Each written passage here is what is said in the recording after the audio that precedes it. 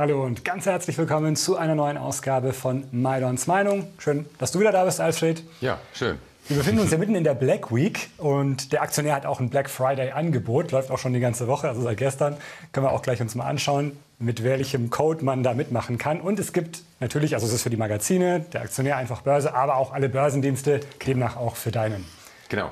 Und es gibt sogar, wenn man jetzt äh, Abonnent wird, ein Goodie. Sozusagen. Genau, ich habe noch was draufgelegt. Es gibt nicht nur 20% Rabatt äh, auf alle Abo-Laufzeiten, sondern es gibt noch eine neue Studie. Reicher mit Speicher. Ähm, da geht es um drei Power-Aktien, die ähm, ja, 500% Kurspotenzial haben. Klingt viel, ist jetzt auch nicht gedacht auf zwölf Monate, aber auf Sicht von drei Jahren sind alles Aktien aus dem Bereich Batterietechnologie, Batteriespeicherung, Rohstoffe. Ähm, sehr interessant und ja, ein gutes Angebot finde ich. Wer mag, Studie, mein Report und 20 Prozent sparen, mehr geht nicht. Alle drei zusammen 500 oder je? Äh, nein, nein, nein, je, nein jede, jeder, jeder einzelne 500 Prozent, das wäre eine Versechsfachung. Okay, na gut. Da bin ich mal gespannt. Also, wer jetzt Abonnent wird, klickt diese Sonderstudie mit dazu und man spart eben die 20 Prozent mit genau. dem Code BLACK22. Dann schauen wir auf altbekannte Werte, die du uns heute mitgebracht hast. Wir starten mit Unipipe. Die haben wir schon länger nicht mehr angeguckt. Die Aktie war ja, ja auch äh, halb tot äh, sozusagen. Genau. Aber jetzt hat sie wieder ein Lebenszeichen von sich gegeben. Genau, man sieht es hier kaum in dem Chart, aber es ist doch ganz ordentlich. Wir waren ja runter auf äh, unter 3 Euro. Jetzt sind wir wieder bei 8, sogar über 8. Ähm, allein in den letzten, ich glaube, sieben oder acht Handelstagen hat sich die Aktie mehr als verdoppelt. Ähm, Warum ist eine gute Frage. Es gibt eigentlich gar keinen handfesten Grund dafür, bis auf die Tatsache, dass einfach Trader Uniper für sich entdeckt haben und die Aktie jetzt jeden Tag in immer neue Höhen treiben. Ähm, das Spielchen kann noch eine ganze Zeit lang so weitergehen. Also mich würde es nicht wundern, wenn wir jetzt heute oder morgen bei 10 stehen oder sogar 12. Ähm, man muss dann nur irgendwann sehen, was Uniper eigentlich wirklich wert ist. Und das ist dann schon ein ganz anderer Preis. Also bekannt ist ja, dass der Bund 98 Prozent der Anteile halten wird, wenn es zu dieser großen Kapitalerhöhung kommt, wahrscheinlich dann Ende des Jahres oder Anfang nächsten Jahres. Und der Bund zahlt 1,70 Euro für die Aktien. Also das ist so ein Anhaltspunkt. Und eigentlich sehe ich den fairen Wert eher sogar noch tiefer, denn eigentlich ist Uniper gar nichts mehr wert. Ähm, man wird in diesem Jahr 30 Milliarden Euro Verlust machen. Die Market Cap ist jetzt bei 3 Milliarden. Ähm, also eigentlich ist der Patient klinisch tot, wird noch ähm, künstlich am Leben erhalten. Aber das hindert natürlich Trader nicht daran zu spekulieren. das tun sie offensichtlich auch. Und ähm, da kann man doch gerne mal mitspekulieren. Man muss nur sehen, dass man dann den Absprung schafft, weil wie gesagt, ähm, die Fallhöhe wird immer größer, je höher der Kurs steigt. Und ähm, wir werden dann ziemlich sicher nächstes Jahr ähm, auch Kurse sehen, die in diese Region gehen, 1,70 ähm, höchstwahrscheinlich. Also insoweit. Nur für Zocker. Genau, nur für Zocker. Und vielleicht einen kurzen Anlagehorizont. Aber schon ein irres Volumen, äh, muss man sagen. Und man sieht es auch ganz gut, die meisten Aktien werden auf Tradegate gehandelt. Das heißt, die Großinvestoren, die Institutionellen, die sind längst draußen. Das ist jetzt ein Spielball der Spekulanten. Und ja, da können sie sich ein bisschen austoben. In der Corona-Zeit wurde sich mit der nächsten Aktie ausgetobt, beziehungsweise war halt einer der großen Gewinner Zoom Video. Seitdem ist aber die Luft schon raus, seit die Corona-Pandemie nicht mehr omnipräsent ist. Jetzt gab es auch Quartalszahlen gestern nachweislich. Genau. Man sieht es ja ähm, ganz gut oder ganz schlecht, besser gesagt. Der Kurs ähm, ja, hat sich kräftig verloren. Äh, Im letzten Jahr schon, in diesem Jahr ging es weiter runter und seitdem ja, also eine richtige Erholung gab es da bisher nicht. Und das liegt ganz einfach daran, tatsächlich ähm, diese enormen Umsatzzuwächse, die Zoom ja hatte während der Pandemiezeit, die sind vorbei. Äh, man wächst immer noch, das ist vielleicht eine gute Nachricht. Äh, man, der Umsatz im dritten Quartal äh, ist um 5% gewachsen, aber das ist natürlich nicht mehr das, was man von Zoom gewohnt war. 100, 200, 300% Wachstum. Man wächst jetzt noch mit 5%, aber eben von einer viel höheren Basis aus, was natürlich dann auch schwieriger wird. Äh, die Zahlen gestern insgesamt waren eigentlich gut, sogar über den Erwartungen, aber man hat so ein bisschen auf die Bremse gedrückt, äh, was den Ausblick aufs vierte Quartal angeht. Und ja, insoweit hat die Aktie dann nachbörslich doch noch an Wert verloren. Und für mich das größte Problem bei Zoom ist, ich finde das ist eigentlich spannend, was Zoom macht, ähm, weil man ja auch äh, jetzt mehr auf die äh, Geschäftskunden geht, auf die Firmenkunden, die ihre ganze Telefonanlage auf Zoom umstellen. Ähm, da wächst man auch stärker, ich glaube mit 20 Prozent. Ähm, aber das große Problem, was Zoom hat, äh, man hat einen Wettbewerber, der nicht gerade klein ist, fängt mit M an und hört mit Soft auf. und das ist natürlich ein Problem, Microsoft als Konkurrenten zu haben, ist sehr unangenehm, zumal ja Microsoft, auch wir bei uns nutzen ja, glaube ich, oder das, was heißt glaube ich, weiß ich, Teams intern. Insoweit ähm, ist das natürlich schwer, dagegen anzukommen. Also Ja, eigentlich eine spannende Aktie, ähm, aber äh, auch jetzt auf dem Niveau finde ich immer noch recht teuer, denn KGV 20 bei einem Wachstum von 5% ist eben dann doch immer noch ein bisschen hoch, ähm, bewertet mit dem fünf- oder sechsfachen Umsatz immer noch. Also äh, da ist jetzt wenig, ja, wenig Chance, dass der Kurs jetzt diese alten Höhen wieder erreicht. Das halte ich sogar für ausgeschlossen, aber selbst eine nachhaltige Erholung ist sehr schwierig. Aber man hört so ein bisschen raus, man kann sie vielleicht auf die Watchlist tun, mal ja, beobachten, ja, also was in den nächsten ich, Jahren passiert. Liegt bei mir auf der Watchlist, ich schaue mir die immer wieder an, jetzt gerade wenn Zahlen kommen, also im Auge behalten schon, aber im Moment ist es noch zu früh, sicherlich. Dann schauen wir auf Tesla. Der Rückwärtsgang äh, bei dem Wert ist weiterhin aktiv. Elon Musk hat sich so ein bisschen vom Heilsbringer viele Jahre jetzt zum Risiko für Tesla entwickelt, oder? Ja, das war ja immer schon. Das ist ja nicht, nicht wirklich neu. Es ist, aber es ist schlimmer geworden. Weiß ich nicht. Also er hat Mariana geraucht äh, beim Radiointerview. Also er hat schon viele hat komische viele Sachen gemacht. Das ist natürlich jetzt besonders schwierig. Tatsächlich, okay, da gebe ich dir recht, weil ist, diese Twitter-Geschichte ist natürlich sehr zeitintensiv. Ähm, wenn man ihn auf Twitter verfolgt, es geht nur noch um Twitter. Ähm, es werden die, die täglichen Nutzerstatistiken rauf und runter geladen. Also das ist schon sehr zeitintensiv. Aber ich habe es ja schon hier gesagt an dieser Stelle. Tesla selber braucht nicht mehr diese intensive Betreuung. Äh, ist ja, Tesla ist ja kerngesund. Ähm, die äh, Geldspeicher sind prall gefüllt, über 20 Milliarden Dollar Cash. Und das ist jetzt vielleicht auch so ein bisschen die Hoffnung, die ich zumindest habe. Erstmal muss man sehen, die Aktie hat jetzt vom Hoch ziemlich genau 60 Prozent verloren. Ähm, da haben wir eine kleine Grafik mitgebracht, genau. genau 60 Prozent. Ja, das gab es schon mal, und zwar einmal. Das sind äh, auf der Grafik, nee, die nächste machen wir mal erst. Zu der kommen wir gleich noch, aber da sind wir die größten genau, Verluste. Das hier sind die größten äh, Korrekturen, die Tesla seit dem Börsengang 2010 hatte. Das waren immer so 30 Prozent, dann gab es hier mal 40 Prozent, dann 50 Prozent 2017, 19. Und dann dieses Corona, der Corona-Crash, innerhalb von 28 Tagen ging es 60 Prozent nach unten. Und jetzt sind wir wieder fast bei den 60 Prozent, auch wenn diese Korrektur natürlich jetzt schon ähm, über ein Jahr läuft. Aber 60 Prozent ist vielleicht so eine Größenordnung, ähm, ja, wo es dann auch mal genug ist. Zumal, und jetzt können wir die Grafik davor machen, und die ist nämlich wirklich interessant, also die ist auch interessant, ich habe ja nur interessante Grafiken. Sonst hättest du nicht dabei. Genau, aber die ist spannend. Ähm, das ist jetzt, das rote ist der Kurs, äh, das weiße ist der Kursverlauf von Tesla seit Anfang 2021, da sieht man diesen starken Anstieg. Ähm, zum Jahresende. Und in diesem Jahr geht es eigentlich mit der Aktie äh, fast nur abwärts. Wir sind jetzt auf einem Zweijahrestief gelandet. Das Rote sind die Gewinnprognosen für 2023 und die sind in diesem Zeitraum kräftig gestiegen. Hier lief noch alles parallel. Und seit ungefähr Mitte des Jahres ähm, geht der Kurs von Tesla nach unten und die Gewinnprognosen nach oben. Also das ist schon ähm, erstaunlich. Wir haben jetzt seit Jahresanfang hat die Aktie sich halbiert, ziemlich genau, und äh, die Gewinnprognosen sind um über 50 Prozent gestiegen. Und diese Schere ist schon sehr groß. Das hat zur Folge, dass Tesla jetzt wirklich, ich würde sagen, fast schon extrem günstig bewertet ist. Das KGV für nächstes Jahr liegt bei ungefähr 30 und das für übernächstes Jahr bei 24. Und das bei einem Wachstum von 40, 50 Prozent. Das ist wirklich günstig. Und ähm, klar, jetzt kann man dagegen argumentieren, was jetzt auch viele tun. Der Chart sieht katastrophal aus. Wir haben jetzt das Tief unterschritten, das Tief unterschritten. Ähm, ja, sind auf zwei Jahrestief. Und äh, Unterstützung gibt es erst wieder im Bereich so 120. Da sieht es schlecht aus, aber fundamental ist das für mich ein glasklarer Kauf. Aber wir haben ja bei vielen anderen Tech-Werten, das erzählen wir mal dazu, eine Erholung gesehen in den letzten Wochen und Monaten. Oktober lief sehr gut, November ist gut angelaufen. Ja. Bei einigen Werten, Tesla hat sich halt komplett davon abgesondert. Das war anders als nach dem Corona-Crash, da sind alle wieder. Genau, das, das, ist tatsächlich, das ist tatsächlich die Geschichte mit, mit Elon Musk und Twitter, was mhm. tatsächlich ähm, ja nicht gut ankommt. Und natürlich dann hat die ganze Stimmung komplett gedreht, weil dann auch wieder mehr MLR-Verkäufer auf die Aktie aufgesprungen sind, die natürlich auch dann Erfolg hatten, was wieder neue Leerverkäufe angelockt hat. Und jetzt hat sich die ganze Stimmung komplett gedreht. Ähm, aber Tesla ist dafür bekannt, diese Stimmungswechsel, das kann auch ganz schnell wieder andersrum laufen. Und wie gesagt, die fundamentalen Faktoren äh, sprechen jetzt äh, sicherlich eher für steigende Kurse. Und dann tatsächlich nochmal zurück zum hohen Cash-Bestand, über 20 Milliarden Dollar.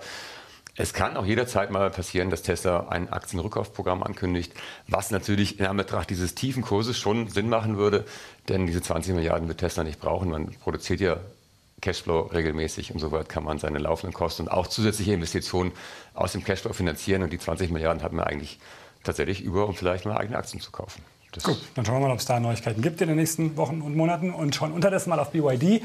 Ja, hm, wir haben schon oft darüber gesprochen. Es gibt nur gute Neuigkeiten, aber die Aktie reagiert halt nicht fast nicht darauf. Ja, ähm, es gibt, ich weiß gar nicht, warum ich BYD überhaupt dabei habe. Es gibt eigentlich auch gar nichts Neues dazu Diesmal zu sagen. Nicht tatsächlich, aber sonst immer eigentlich. ja, Fast jede Woche. Nein, es gab jetzt wirklich keine guten Nachrichten. Es gab sogar eine schlechte Nachricht. Es gab einen Brand in, in einem Fabrikgebäude. Allerdings, da hat man Halbleiter hergestellt. Also da war jetzt die Autoproduktion nicht betroffen, wurde auch schnell gelöscht. Äh, kein Drama. Ähm, ansonsten gibt es wirklich auch keine weiteren negativen News, ähm, bis auf die Tatsache, das ist aber auch nicht neu, dass die chinesischen Aktien weiterhin gemieden werden. Es gab ja zwischendrin mal die Hoffnung, dass China die ähm, Covid-Restriktionen lockert. Das ist jetzt auch schon wieder vom Tisch, ähm, kann aber trotzdem jederzeit wieder kommen. Aber ich bleibe dabei, auch mit allen Risiken, die BYD vielleicht zusätzlich hat zu Tesla. Das ist vielleicht auch noch ein Problem, dass Tesla jetzt auch fällt, was sich natürlich auch auswirkt auf alle anderen Elektroautohersteller. Also das Umfeld ähm, ist jetzt weiterhin negativ, aber das Kerngeschäft operativ weiterhin sehr positiv. Und auch hier gilt jetzt, was sich demnächst durchsetzen wird. Und ähm, ich hoffe mal, dass, ähm, ja, dass die Kennzahlen, Kernzahlen sein werden, die nach wie vor extrem gut sind. Die nächsten Zahlen gibt es ja dann wieder Anfang des Monats. Und äh, auch da ist nichts Schlechtes zu erwarten. Also ja, der Kursverlauf, jetzt müssen wir mal sehen, dass charttechnisch auch hier vielleicht diese 20 Euro nicht mehr unterschritten werden. Ähm, das wird sich zeigen. Wir werden es weiter verfolgen und hoffen dann, dass wieder gute Nachrichten dann demnächst äh, auf den Tisch kommen bei BYD. Ich habe schon geguckt, wir sprechen jetzt über Solar. Ja. Ähm, da gab es ja eigentlich gute Meldungen. Habeck möchte den Ökostrom, den Ausbau von Ökostrom weiter fördern, hat sich da diverse Pläne überlegt. Klar, sind immer noch, noch sind es Pläne, aber das dürfte ja schlussendlich SunPower und Co helfen. Ja, also Sunpower ist ja nun ein US-Unternehmen und auch US-Installateur, aber da gibt es ja auch diese massiven äh, Steuervergünstigungen. 30 Prozent spart man beim Kauf einer Solaranlage und zwar die werden direkt von der Steuer abgezogen. Äh, dann kommt natürlich noch dazu, dass äh, wie gesagt, auch in Europa Solar äh, am Boom ist. Davon hat Sunpower jetzt nicht so viel, aber letztendlich die Stimmung für die ganze Branche ist weiterhin extrem gut. Und ähm, in Deutschland wird nächstes Jahr dann auch die ähm, Mehrwertsteuer wegfallen, was nochmal einen neuen Boom auslosen wird.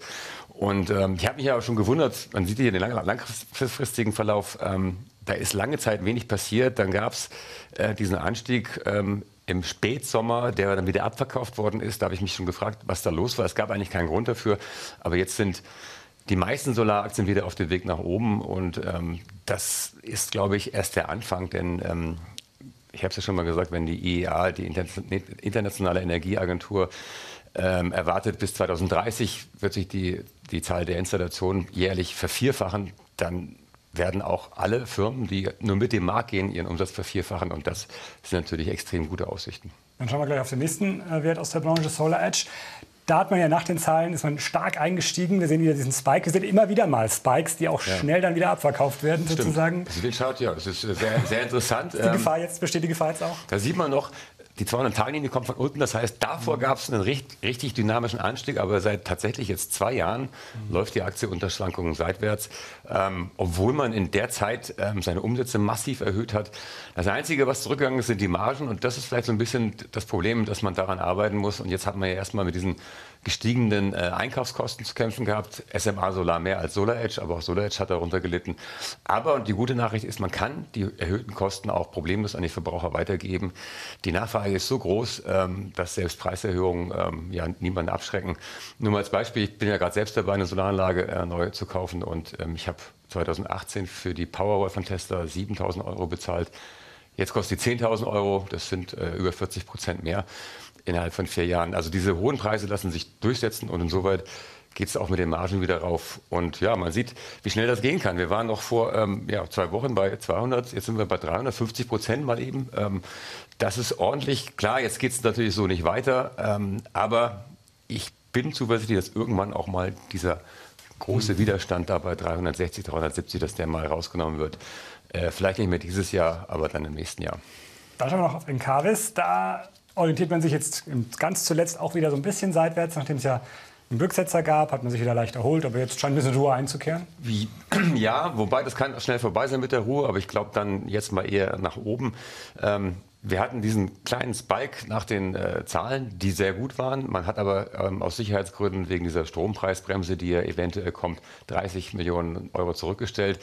Das kam dann erstmal nicht so gut an, deswegen ging es dann gleich wieder runter. Aber jetzt haben sich auch viele Analysten zu Wort gemeldet, die sagen, ähm, wie gesagt, abzüglich dieser, oder wenn man diese Zahlung, diese Rückstellung nicht berücksichtigt, waren die Zahlen extrem gut. Ähm, vielfach auch gestern oder besser jetzt wurde nochmal äh, das Kursziel von der DZ-Bank bestätigt, 24 Euro. Finde ich ein bisschen wenig, 24. Mein Kursziel in meinem Report sind 35 Euro. Und das ist auch so der Preis, der, ja, wenn Encarvis übernommen werden sollte, was immer noch tatsächlich möglich ist, also sehr wahrscheinlich sogar, denke ich, ähm, dann ähm, wäre das ein Preis, der, der ein Aufkäufer, Aufkäufer, zahlen müsste, so in Relation zu den Übernahmen, die so stattgefunden haben in letzter Zeit. Also insoweit ist da jede Menge Luft nach oben und ähm, ich finde, es ist wirklich ein, ein Schnäppchenpreis unter 20 Euro. Ähm, ein sehr profitables Unternehmen aus dem Solarbereich, inklusive ein paar Windräder hat Encarvis ja auch noch spannende Geschichte und ja, eine sehr gute Chance. Und man sieht auch hier, wie schnell das gehen kann. Wir waren ja hier tatsächlich mal sogar auf ein neues äh, Mehrjahrestief abgerutscht und dann ging es in mehreren Schüben aufwärts und vielleicht haben wir jetzt bald den nächsten. Glaubst du, diese Übernahmegeschichte könnte noch in den nächsten ein, zwei Monaten akut werden oder muss das, da länger das kann, das kann sein. Ähm, es ist äh, hochinteressant. Also Encarvis hat jetzt auch einen Fonds aufgelegt, ähm, einen Solarfonds zusammen mit einer größeren Bank, wo über eine Milliarde reinfließen sollen. Also das Interesse von Investoren ähm, und auch von Energieversorgern ist unheimlich groß. Also und Encarvis ist ein, ja, ein sehr gutes Übernahmeziel. Wenn es in Kürze der Fall sein sollte, käme das natürlich deinem Depot bei Depotchamp zugute. Da hast genau. du ein, eine Wildcard, ein, ein, ein, ein Derivat. Wahrscheinlich passiert es einen Tag, nachdem das Spiel vorbei ist. Ja, genau. am 27. Januar, weil am 26. Ende das, glaube ich. Donnerstag, 19 Uhr, gibt es die nächste Ausgabe. Und dann wird bestimmt auch wieder Fryer Battery thematisiert, denn auch der Wert ist ja weiterhin in deinem mhm. Depot.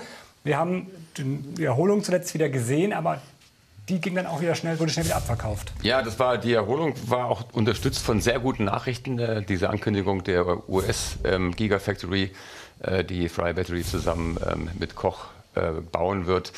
Äh, das Grundstück wurde ja schon gekauft. Dann gab es das Gerücht, dass KKR, der Finanzinvestor, 500 Millionen investiert. Das hat sich nicht bestätigt, ähm, wurde aber auch nicht dementiert, also kann auch jederzeit noch kommen. Das ist übrigens mal ein Blick auf die US-Fabrik, so soll die mal aussehen, ähm, wenn sie denn mal ähm, fertig ist im Bundesstaat Georgia. Äh, also eine Riesennummer. Die zweite große Fabrik, die man baut, sogar noch größer als die erste. Und das soll auch nicht die letzte sein. Man will ja tatsächlich bis 200 Gigawatt hochfahren, die Produktionskapazitäten bis 2030. Die hat jetzt 34 Gigawattstunden und die ähm, in Norwegen äh, 29. Also man ist auf einem guten Weg. Ähm, läuft alles. Die Aktie, klar, ist natürlich auch schwer in dem Umfeld dass man äh, da diesen Aufwärtstrend weiter fortsetzt. Ich sag mal so, ich bin noch mal gefragt worden, wo würde Fryer stehen, wenn wir jetzt die letzten Monate einen, ein gutes Börsenumfeld gehabt hätten, dann wäre die Aktie wahrscheinlich jetzt schon bei 25, 30 Dollar. Jetzt sind wir halt nur bei 13, aber was nicht ist, kann ja noch werden. Mit Bremse könnte ja auch sein, dass Goldman mal wieder oder weiterhin pessimistisch ist, was die Lithiumpreise angeht, oder? Ja, aber das ist ja eigentlich dann eher gut für Fry Battery. Wenn die Lithiumpreise fallen, dann kann man günstiger einkaufen. Ähm, aber die Lithiumpreise äh, werden nicht fallen und äh, Fire kommt auch mit diesen hohen Preisen äh, ganz gut zurecht. Dann schauen wir jetzt noch auf Plug Power. Wir vergleichen auch gleich noch Fryer und Plug, aber erstmal äh, Plug hier im Zweijahreschart. Da ist jetzt nicht mehr so viel. Äh, Nein, ähm, ich habe extra mal den, die längeren Charts heute mitgebracht, damit man mal sieht, wo die Aktien alle so herkommen. Und äh, ja, Plug Power war ja mal bei 70 Dollar. Ähm, jetzt sind wir bei 15.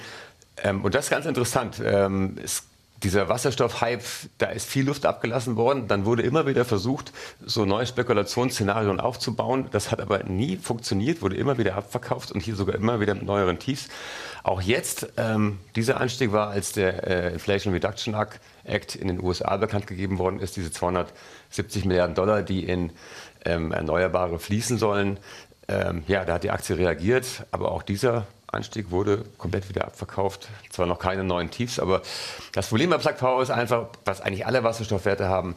Es ist jetzt mal Zeit zu liefern und Plug Power hat gerade vor zwei Wochen Zahlen vorgelegt, ähm, die massiv unter den Erwartungen waren, sowohl beim Umsatz als auch also Umsatz deutlich schwächer als erwartet, nur 30 Prozent Wachstum und der Verlust deutlich höher als erwartet.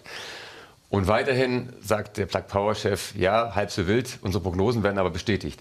Und das machen viele Werte oder viele Unternehmen jetzt schon sehr lange so. Nur irgendwann ähm, funktioniert das eben nicht mehr. Irgendwann muss man auch mal liefern, kann nicht mehr sagen, ich mache das eben nächstes Jahr, was ich dieses Jahr nicht geschafft habe. Ähm, das ist jetzt äh, vor allen Dingen auch tatsächlich zeigt sich, dass diese Wasserstoff Euphorie, dass das in die Realität einfach nicht hergibt. Ähm, und ja, das zeigt sich am Chartverlauf. Wir vergleichen, wie gesagt, jetzt die beiden Werte. Ist es wahrscheinlich keine Überraschung mehr besser notiert. Aber hier sehen wir es nochmal schwarz auf weiß. Oder ja, aber das ist, das ist ein sehr, sehr spannender Chart. Ich bin auch froh, dass der genau so schön geworden ist. Ähm, da sieht man Fire Battery im Vergleich mit Plug Power ähm, seit Jahresanfang. Beide fast exakt parallel. Mhm. Ähm, und dann, so ab ähm, September, äh, ist dann Plug Power, hat diesen Anstieg nach dem Inflation Reduction Act mhm. komplett wieder abgegeben und Fire Battery hat das hohe Niveau gehalten. Ähm, das gilt für viele Wasserstoffaktien und für viele Batterieaktien. Batterieaktien bleiben oben, Wasserstoffaktien sind wieder runtergekommen und das liegt einfach daran, dass der Batteriemarkt da ist, der läuft. Es ist ein ähm, Billionenmarkt, also jetzt noch ein Milliardenmarkt. Es wird in einigen Jahren ein Billionenmarkt, der expandiert, wächst in allen Bereichen, sowohl Batterien für Heim, Heimsolarspeicher als auch die großen Battery Packs für große Solar- und Windparks. Ähm, das funktioniert, die Umsätze wachsen rasant und während bei Wasserstoff sich wenig tut. Also das spiegelt tatsächlich auch die Realität wider und dieser Trend wird sich meiner Ansicht nach auch fortsetzen. Ich nehme aber mal an, wir können ja kurz noch mal die Sonderstudie einblenden, dass Fire Battery jetzt keiner dieser drei Werte ist. Das wäre wenig überraschend. ähm, vielleicht doch. Vielleicht doch.